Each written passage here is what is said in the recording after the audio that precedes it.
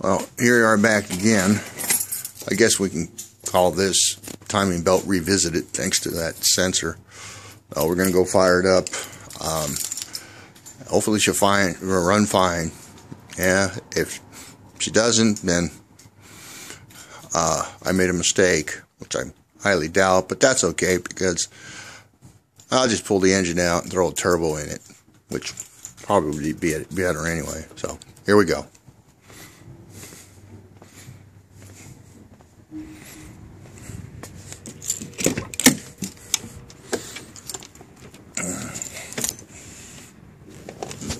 Okay. Ignition.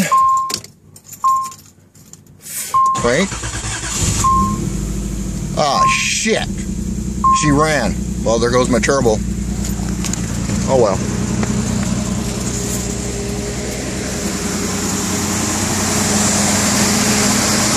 Pretty healthy.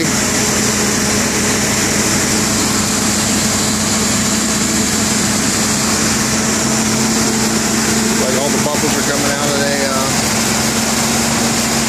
antifreeze. Boy, a lot of bubbles in there. Sounds strong. So, like I said, either we did it right or we did it wrong. Apparently we did it right.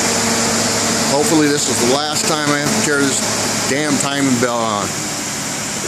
It's, really not that hard. It's pretty easy. But it's bitch when you got a 25 year old plus car that has parts on there that don't want to come off. Unfortunately, this time around, since I already did it one time before, she did fine. She came apart real easy.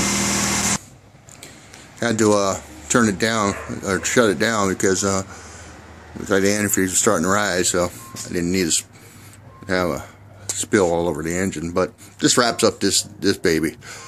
No turbo, but she's running fine.